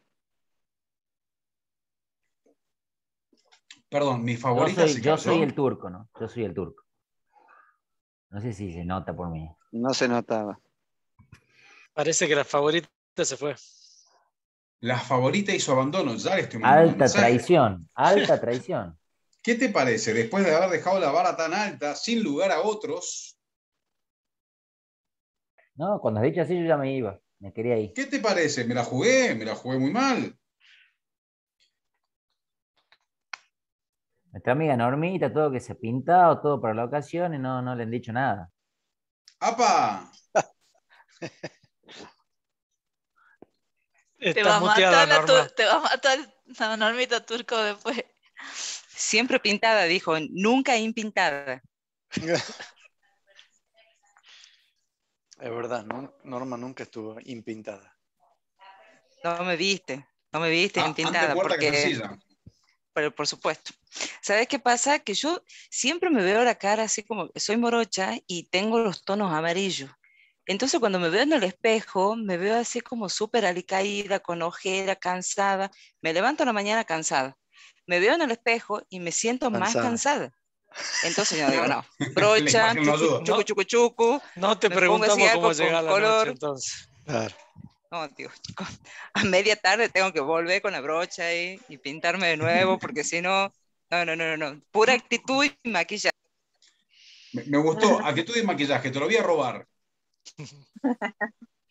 Te lo voy a robar. Para el Gente, próximo entonces, nada, curso. seguimos rápidamente, así aprovechamos el tiempo, porque ahora, como yo sabes, decía, les, les toca a ustedes. ¿Perdón? ¿Alguien decía algo por ahí? No, que Marisa tenemos que tener la misma actitud. Si Maquillaje yo y arranco a maquillarme, nadie me dice nada, ¿no?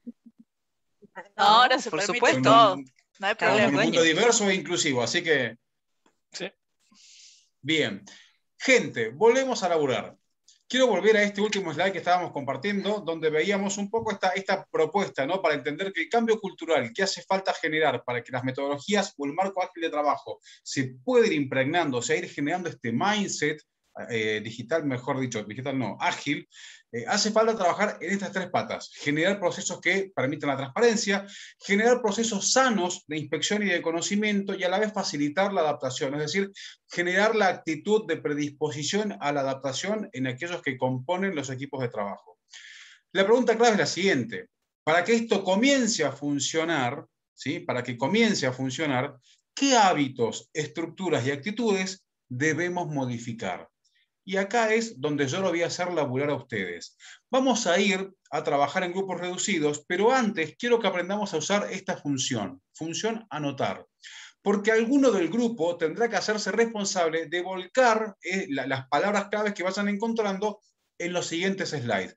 ¿Cómo es la función anotar? Quiero que todos hagan la prueba agarrando el mouse, moviéndolo hacia arriba de la pantalla, y van a ver que aparece una leyenda que dice algo así como usted está viendo el contenido compartido de Ramiro. Cuando ven a la derecha de esa leyenda, hay tres puntitos o más opciones, hacen clic ahí y la cuarta opción es la opción anotar. Una vez que ustedes ingresan a la función anotar, la función de texto es la que está de izquierda a derecha en tercer lugar. Lo estoy llegando. No, no, no. Yo tampoco, no. no lo No encuentro. Bueno. tenemos la opción, quizá cómo está configurada la, la reunión. ¿Puede estar configurado para que no tengan acceso a anotar, eh, Alfred? Alf- eh, Alfred? ¿Alberto? Es probable, porque vos estás compartiendo pantalla, vos tenés que habilitarle para que los demás puedan hacerlo. Ah, muy bien. Houston. Ayúdame a ver cómo, cómo habilita esa función. ver, deja, de, deja de compartir y ya. ¿Listo? Espera que comparta yo. Eh, ¿Y vos lo habilitás como función? sí, déjame que vea eso. Perfecto. Mientras tanto les cuento. Vamos a hacer lo siguiente.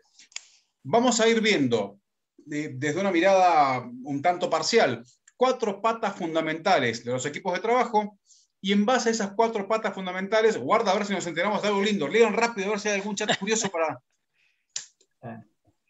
Epa, ¿quién te pasa a buscar 19.30? ¡Apa!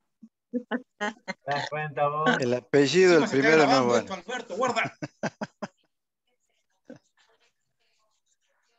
Ahí está, creo que sí, está ahí, fíjate. Bien, bien. Te metimos presión, ¿no? ¿Viste? Ah, A ver ahora, vamos de nuevo con las instrucciones. Con el mouse, van para arriba. Debería aparecer una leyenda que dice usted está viendo contenido compartido de Ramiro. Algo parecido. ¿Lo encuentran? sí, pero no, Sí. no deja, no deja, Ramiro. Bueno, listo, olvídense, lo vamos a poner en el chat. En el chat sí se puede compartir, ¿no? Sí. Vamos a ir al chat entonces. Misma lógica. Lo que vamos a hacer es trabajar sobre este formato. Vamos a pensar de- de- desde la transparencia qué hábitos tenemos que cambiar o soltar en estas cuatro patas. Como yo, como yo decía, son cuatro patas un tanto parciales porque las elegí yo en vez de consensuarla con ustedes, pero vamos a pensar desde el liderazgo, desde el feedback, desde la gestión de las emociones y desde la gestión de los equipos para que la transparencia empiece a ocurrir. ¿Qué hábitos hay que soltar? ¿Qué hábitos hay que modificar? ¿Soy claro con la pregunta, con la consigna? ¿Qué hábitos hay que modificar? Exactamente. ¿Qué hay que modificar de hábitos para que la transparencia realmente pueda ocurrir? ¿Queda claro? Y ahora, ¿cómo Entonces. va a ser la dinámica? ¿Cómo va a ser la dinámica? Yo los voy a dividir en grupos reducidos, van a estar entre cuatro o cinco personas en, en una sala, y lo que cada grupo tiene que encontrar es una palabra que resuma un hábito para cada una de estas cuatro patas. Para encontrar esa palabra para cada una de estas cuatro patas tienen cinco minutos máximo. Cinco minutos máximo. Entonces, lo que van a hacer es... Decime, Octavio, está silenciado. ¿Podrías repetir la consigna, por favor? Una palabra que qué. Eh, o sea que habría que de- devolver cuatro palabras. Exactamente. Cada grupo tiene que pensar respecto a la transparencia, qué cosas tienen que cambiar en cuanto al liderazgo, al feedback, a la gestión de las emociones y los equipos, y a esto tienen que resumir en una palabra. Una o dos. Tratemos de ser lo más concretos posibles porque va a haber cuatro equipos poniendo una este, o, agregando una palabra en función de lo que tiene que modificarse para que esto ocurra, para que funcione la transparencia. Y lo que van a hacer es van a determinar una persona que escriba todo junto en el chat. Entonces van a poner, por ejemplo, para hacerlo simple e identificable, van a poner eh, la palabra liderazgo y dos puntos la palabra que hay que modificar. Feedback, dos puntos y lo que creen que hay que modificar. ¿Soy claro con la idea? Bien. Vamos a ver con qué volvemos entonces a la conversación. Vamos ahora al grupo reducido. Cualquier cosa ustedes me llaman desde el grupo y yo puedo ir a asistirlos y este, nada, subsanar cualquier duda que pueda haber. Quiero saber si quedaron los grupos bien armados. Sí, perfecto. Momento que ahí estamos. Quedaron tres grupos de cuatro. Tres de cuatro. Cualquier cosa me llaman y voy para allá. Pero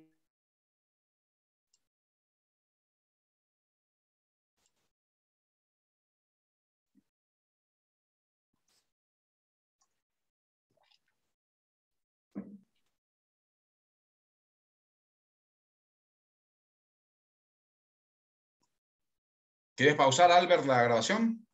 Entonces, los responsables pondrán sus palabras donde corresponda. ¿Qué es lo que hay que cambiar, sustituir o mejorar para que la transparencia empiece a ocurrir, a funcionar? Ahí está. Muy bien, muy bien, ahí va apareciendo. Yo le voy a dar libre curso a mi talk y voy a empezar a acomodar.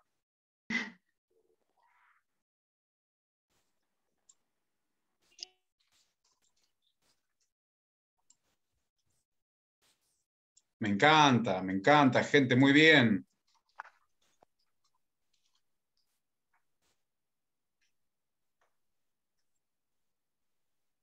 Impecable. Impecable. Antes de continuar, lo que yo voy a hacer entonces es, voy a hacer un print de pantalla para que esto nos quede a modo de registro y que esto después se pueda distribuir junto con el material. Perfecto. Fíjense las cosas que salen, ¿no? El liderazgo, lo que tiene que empezar a potenciarse es la confianza. Olvidarse, me imagino, quitar el, auto, el autoritarismo. de nuevo aparece este, confianza y de nuevo autoritarismo. Me encanta. O sea, veo que tenemos bastante mirada común y, y bastante síntoma común, ¿no? Eh, generar confianza y evitar el autoritarismo. En el feedback, evitar las demoras, los sesgos al momento de hablar y los espacios planificados. En la gestión de las emociones, la negatividad, la desconfianza, generar o impulsar el autoconocimiento y frenar lo impulsivo. Mediar antes de hablar, mediar con un poco de calma. En los equipos, Perdón, acá hay varias cosas que me gustan mucho. La invulnerabilidad. Felicitaciones al equipo que lo puso. La desconfianza, la desunión y los roles adecuados. Perfecto, perfecto. ¿Puedo hacer, ¿Puedo hacer una pregunta, Ramiro? Sí, por supuesto. Sí, para el equipo que puso confianza en un hábito que hay que sacar para tener transparencia y liderazgo. Por ahí, si, si pudiesen este, ampliar un poquito a qué, a qué se referían. Buenísimo. Ahí- Yo lo a di mí me- por a mí me- sentado a mí- desde la antítesis, pero es muy buena la pregunta, Diego. En nuestro caso pusimos confianza como un hábito no que hay que sacar, sino que fortalecer, que sin confianza el equipo no funcionaría. Eh, creo que hemos apuntado así nosotros a hábitos a fortalecer. Bien. Perfecto, Nornis, muchas gracias por la aclaración. Muchas Vamos a gracias. hacer lo siguiente entonces, vamos a continuar, porque tenemos tres patas para mirar, tres patas para ponernos críticos sin contar qué cosas hay que cambiar, potenciar, sustituir. Voy a borrar esto, así no nos queda manchada la pantalla, y vamos al segundo tópico, que es, vamos para adelante, porque no me funciona esto, un momento. Les pido un segundito, voy a volver a compartir, que no sé por qué se me clavó ahí el, el PPT. Ahí está. Vamos ahora a inspección. Y sobre inspección, fíjense que lo que dice es estructuras. ¿Qué estructuras hay que movilizar, adecuar, adaptar para que la inspección sea posible? Por, por estructuras me refiero, por ejemplo, a cómo registramos la información. Desde el feedback lo mismo, qué estructuras hay que modificar para que el feedback sea rico. Desde la gestión de las emociones lo mismo y desde los equipos lo mismo. ¿Soy claro con la consigna, gente? Eh, ahí, disculpa, ahí te Sí. pediría un ejemplo. Bueno, por ejemplo, en feedback muchas veces lo que tenemos es un sistema de gestión del desempeño que nos propone dos reuniones anuales. ¿Alcanza eso para generar buen nivel de conocimiento de cómo va avanzando la persona con la tarea, qué cosas puede corregir, qué está haciendo muy bien y puede potenciar? Preguntarnos al menos si este sistema o esta estructura que usamos como soporte funciona bien o sería adecuado este, corregirla. Dentro de los equipos, ¿cómo por ejemplo manejamos la estructura de las reuniones? Por ejemplo, dentro del liderazgo, cómo los líderes utilizan diferentes tipos de herramientas para transparentar la información. ¿La volcamos eficientemente en los sistemas de gestión o mantenemos sistemas paralelos? Y dentro de las emociones, ahí está un poquito más este, abstracta la cosa y es cómo transparento yo, de qué manera hago visible el cómo me siento, de una manera que sea ecológica. Cuando algo no me gusta, ¿cómo me aseguro de estructurar la conversación, por ejemplo, para que tenga una llegada empática, clara, diciendo lo que tengo que decir sin lastimar o sin provocar más daño? ¿Soy claro con la idea? Sí. Bien, los estoy desafiando, sé que esto tiene su grado de complejidad, para eso vinieron, para romper un poco algunas ideas y pensar de forma diferente. Así que van de nuevo con el mismo grupo a pensar ahora temas de estructura en estos Una sola tópicos. palabra, perdón. De nuevo. Sí, idealmente una sola palabra. Si son dos o tres no pasa nada, Lu. Idealmente una sola, solo por condensar contenido, no por hacer que el cerebro labure un poco más.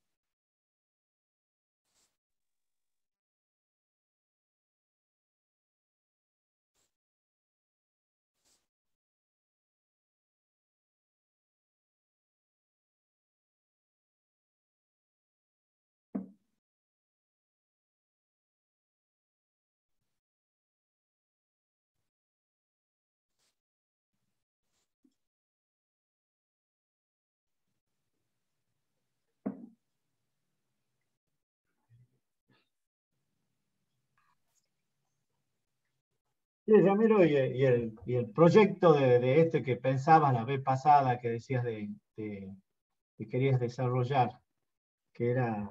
eh, eh, habíamos to- como me habías comentando. Habíamos vos, hablado del conversatorio de liderazgo. Sí, exactamente, ese, no me salía el nombre. Quedó, quedó este, para más adelante atropellado por la agenda, la verdad. Eh, Sí, sí, sí, totalmente. No, no, no le pude encontrar eh, espacio, ni espacio en la agenda, ni espacio en la energía.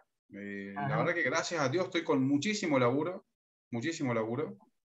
Eh, muy contento porque todo virtual, muy pocas, muy pocas cosas, no. Un solo cliente que es Fiat me está pidiendo que vaya presencialmente a algunas actividades con todo el protocolo.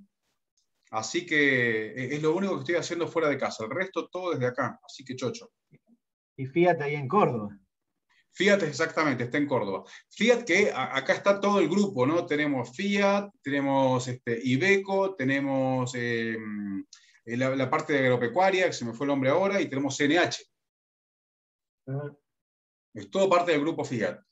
Eh, y, y- y World Class, que es otra área, este, otra unidad de negocio dentro de Fiat. La verdad que vengo laburando muy bien con ellos hace unos 4 o 5 años. Y bueno, este, como ellos nunca dejaron de tener gente en planta y querían laburar con esa gente en concreto, estoy laburando con gerentes, jefes, supervisores, eh, en esto de alinear y de horizontalizar algunas conversaciones, definir objetivos. La verdad que es muy lindo, muy lindo laburo. Está bueno. Sí, O sea que sí, está bueno. está bueno. aprovechando, estás aprovechando eh, el- el- este tiempo de padre también, entonces, estás cerca. Sí, negro, muchísimo. Eh, y, te, y te diría que lo estoy, ahora realmente tengo la agenda más complicada, pero eh, por ejemplo, cuando me piden reuniones, un día que yo decidí este, que, que- que quiero estar con la gorda, no la pongo, no la tomo. Los días que tengo, este, tenemos pediatra o tenemos algún estudio, no, no me pongo laburo, disfruto y, y doy gracias a Dios que puedo ir. Sabes que eh, a la cuestión de un mes y medio más o menos hemos armado una webinar eh, con una psicóloga que es especialista en el tema de familia porque se surgió como una inquietud de Soledad Chavane del GANOR, ese Ajá. tema de decir, che, cómo, cómo combinar familia con, con trabajo, digamos, en esta cuestión de que se está todo junto, incluso en el home office. Sí. Y una de las cosas que, que eh, Marichu Seitu se llama, por ahí la, la conoces, eh, planteaba es que como cuestión positiva de la pandemia, los, los que han sido padres en esta pandemia están viviendo procesos de que de sus hijos que no lo hubieran vivido si hubiera sido Claro. la situación normal. ¿no? Claro. Y yo soy uno de esos, ¿eh? Chocho, chocho, chocho, chocho. Eh, la, la verdad que, te juro, eh, en ese sentido doy gracias a la pandemia. Yo me Sí. reinventé, negro. Yo tenía 38 vuelos por año.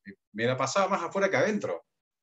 Eh, Claro. no, eh, en ese sentido yo estoy feliz y, y soy consciente de que la pandemia me permitió reinventarme. Mm. Me, me cambió el, el estar con mi señora mucho más tiempo, el acompañar en todos los procesos, estar con la gordita. Los primeros 20 días yo fui el único que le cambiaba los pañales. Imagínate una tontería, ¿no? Pero para mí fue mágico. Claro.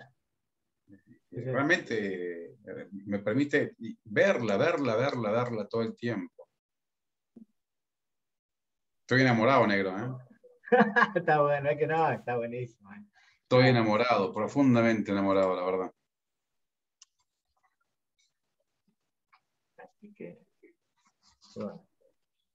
Hay toda, toda, toda situación tiene sus, sus cosas positivas y sus cosas negativas, pero esta es una Sí. que hubiera sido impensable, digamos. Sí, Eh, y como vos decís, son cosas que en, en definitiva no es que van a quedar igual, pero sí va a generar un cambio. eh, Sí, un sí, sí, cambio. Sí. Mira, mi intención es hacerme lo suficientemente fuerte eh, en la metodología virtual, en la modalidad virtual, seguir perfeccionándome, como para que no me pidan más que labure presencialmente. Ajá. como para que no me haga falta, excepto que tenga que elegir. Eh, hace un, un- un tiempo atrás, unos meses atrás, me, me llamaron de, de Copa, yo trabajo con, con Copa Airlines, me llamaron para ir a México. Y le digo, che, me encantaría ir a México, pero ni en pedo voy a México ahora. Le digo, estás loca vos, y si no se puede, no se puede volver a entrar, me llegan a dejar varado afuera, ¿qué hago? No, olvidate, digo, buscate a otro. Me dice, no, Rami, que laburamos con vos, estas cosas. En este contexto, la verdad, con todo el dolor del mundo, tengo que decirte que no. Y al fin y al cabo no lo hicieron.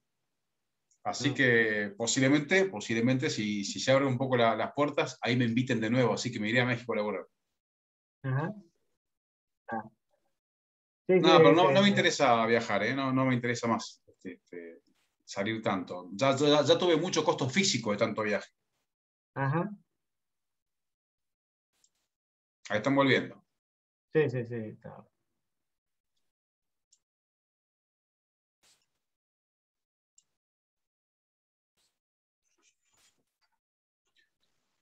Muy bien, gente linda y altamente productiva. Cuéntenme cómo les fue ahora. ¿Estuvo bien?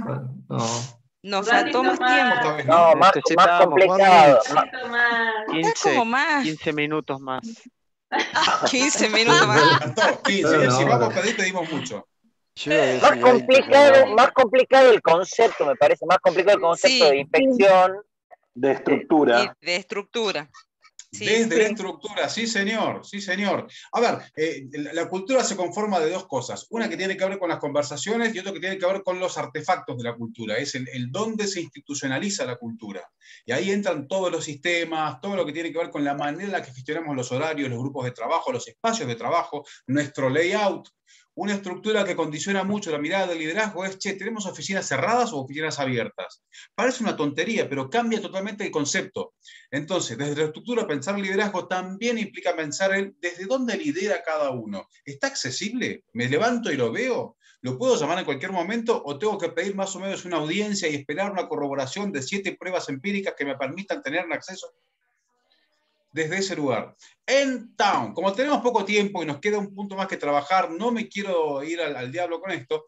Lo que hayan podido construir, quiero que lo vuelquen mediante la función anotar en esta pantalla. Los responsables de tipear o de hacer copy-paste, aprovechen, este es el momento. No hay. Está te escuché. Ah, estabas hablando con otra persona.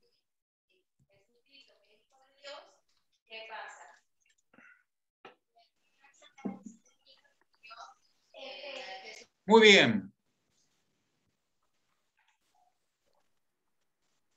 Bien, perfecto, perfecto. Hace sentido todo lo que están poniendo. Tenemos en cuanto al, liderazgo, disponibilidad de la información, o sea, qué tan accesible está, visibilidad, indicadores definidos, no solamente definidos, claros y acotados. Tenemos el vicio de meter 73 indicadores para una situación y a veces confunde mucho más de lo que aclara. Eh, temas de motivación, cómo estructurar me gusta, cómo le damos formato a la motivación. Eh, la motivación tiene mucho más que ver con la emocionalidad con la que caminamos las situaciones que con los premios que pueda haber detrás. ¿Sí? Eso eh, solamente para ponerlo en, en tema de conversación. Feedback, establecer indicadores permanente y uno a uno. Me encanta que sea constante una construcción eh, de, un entendimiento constante. El feedback no puede ser una conversación que abre la caja de Pandora. Tiene que ser el cierre de una serie de conversaciones que tuvimos durante el año y que no te hacen más que confirmar lo que yo ya pensaba de, esto o que, o que, vos pensabas de mí. Eh, gestión de las emociones, generar confianza, breaks y trabajar de otros temas. Me gustó me gustó, esto está bueno porque dentro de la estructura de la reunión incluimos un espacio solamente para conversar, conversar otras cosas. En cuanto a equipos, visualización compartida y seguimiento. Excelente gente, excelente laburo. ¿Qué voy a hacer con esto? De nuevo, un print de pantalla para que ustedes lo puedan tener cuando reciban el material. Un momentito que cierro acá. Perfecto. Ahora lo voy a borrar, así podemos avanzar con lo que nos queda por último, el último momento. Adaptación. Y acá hablamos de actitudes. Fíjense que en un momento hablamos de hábito. El hábito como una cosa más individual. La actitud, solamente por hacer una distinción, la vamos a abordar más de, desde lo grupal.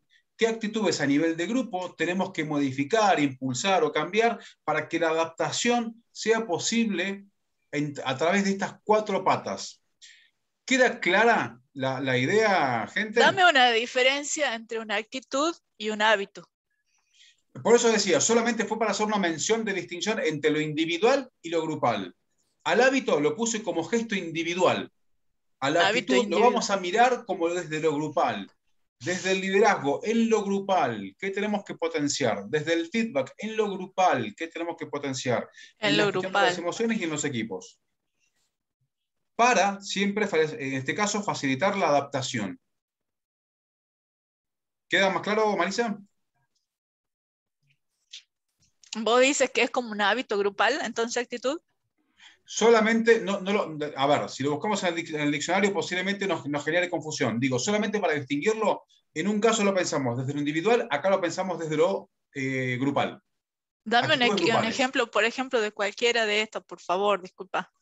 Bien, voy a cambiar el juego. ¿Alguien tiene una mayor claridad de lo que yo quiero proponer? ¿Alguien entiende lo que yo quiero proponer? Sí, Maximiliano me dice que sí con la cabecita. Maxi, ¿te animás a dar un ejemplo? Compañerismo, por Maxi. ejemplo. Acá Compañerismo está, acá está. desde lo grupal. Bien, gracias. Luz. Compañerismo desde lo grupal puede impactar en el liderazgo, la sensación de horizontalidad. En ese sentido, entonces, comportamientos que tengan que ver con lo grupal que impacten en la capacidad de adaptación. Bien, está clarísimo. Perfecto, entonces, gente, últimos cinco minutos de laburo, sepan de que todo lo que ustedes están volcando como información, yo me la choreo y hago un libro, lo siento por ustedes, así que piensen bien lo que van a poner y traigan buenas cosas, ¿estamos? Vamos al grupo entonces.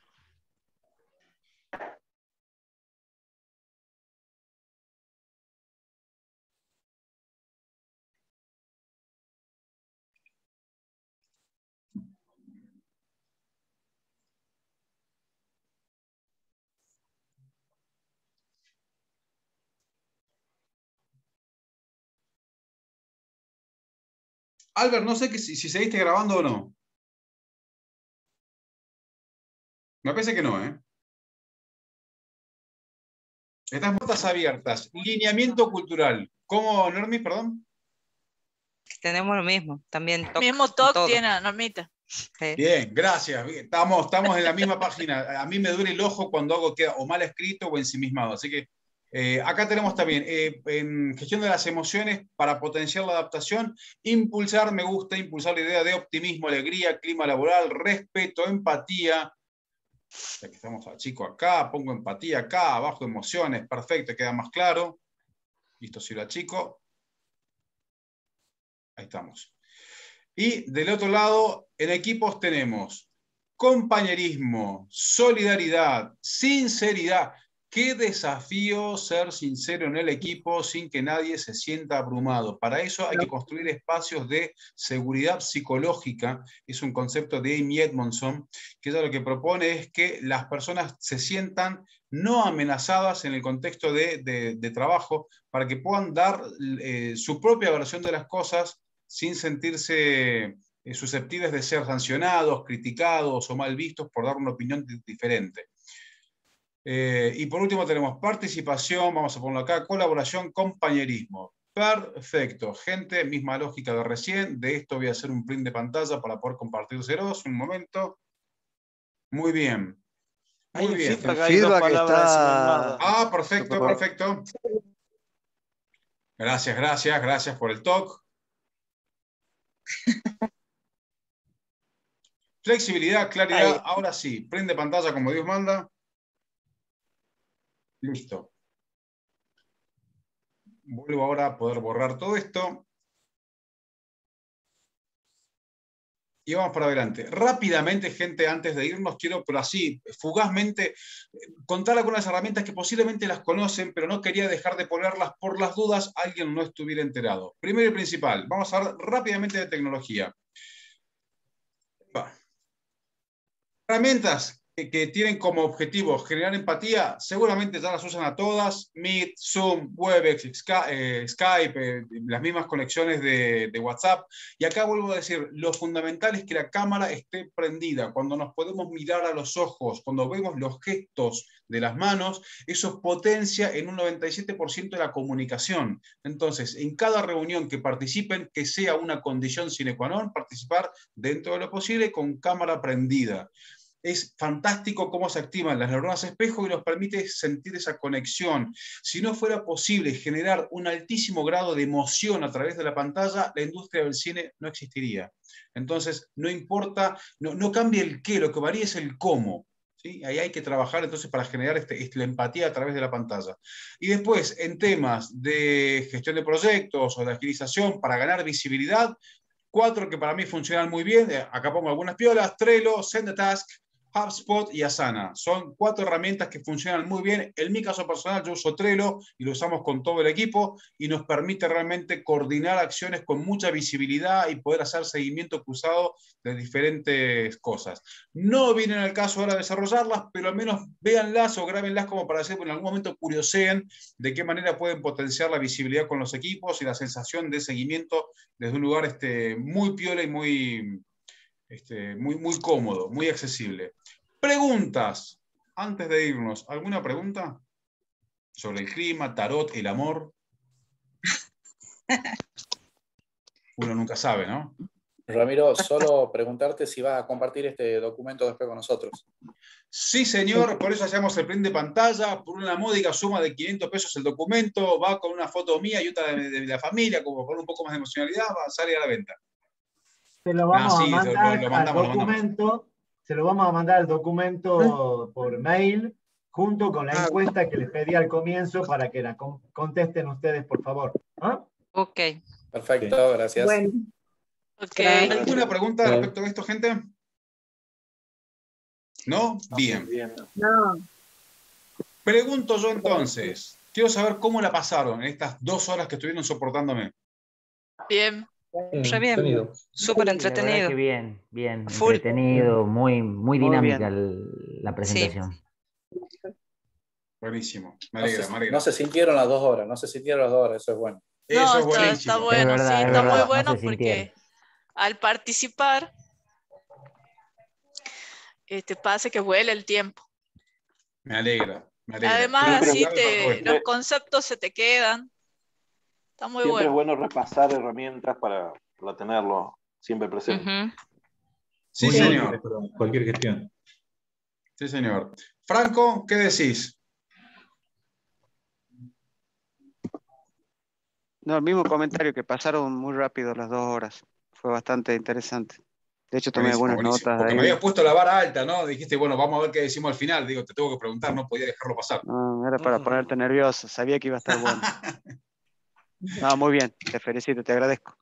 No, un gusto. Gracias a ustedes, de verdad. Eh, como lo dije al principio, eh, esto no iba a ser una charla este, magistral, ni mucho menos, iba a ser una cuestión de co- construcción con ustedes, de compartir algunas ideas y después pimponearlas y sopapearlas entre todos. Así que si ustedes no hubieran participado, si no hubieran charlado, esto no hubiera funcionado para nada. Así que realmente gracias de mi parte, porque me hacen el laburo muy fácil y muy entretenido. Albert, te doy la palabra para que puedas cerrar. Sí, nada más que una, una cuestión que eh, es importante. Nosotros desde la Fundación ponemos al servicio de las empresas socias este tipo de actividades y muchas veces la gente no participa porque eh, a veces no sabe de qué se trata o no las valora. Entonces creo que es importante que eh, ustedes, si les pareció muy bueno esto, lo compartan para que cuando aparezca otra actividad tengan la oportunidad otro de sumarse sabiendo de que esto vale la pena, digamos. Eso es Ujú. básicamente. Es lo que yo le llamo cadena Sí. de favores. ¿eh? Así que, Sí. y lo que han aprendido, por supuesto, nada mejor que compartirlo y tratar de contárselo a otro, de explicarle a otro, porque es la forma en la cual yo también voy aprendiendo sobre eh, lo que voy, o sea, o, o potencio lo que voy aprendiendo, digamos. ¿Mm? Así que esas dos cosas nada más como pedidos. ¿No? Perfecto. Muy bien. Gente, Muchas gracias muchísimas gracias. Un gusto de verdad. Gracias por el Gracias a ustedes. Gracias, Muchas gracias por todo. chicos. Sí, Gracias. muchas gracias. Gracias, muy bueno. Chao. Saludos. Adiós. Hay que hacer un Chao, asado hasta de luego. Ah, no, perdón. Uy. Dale.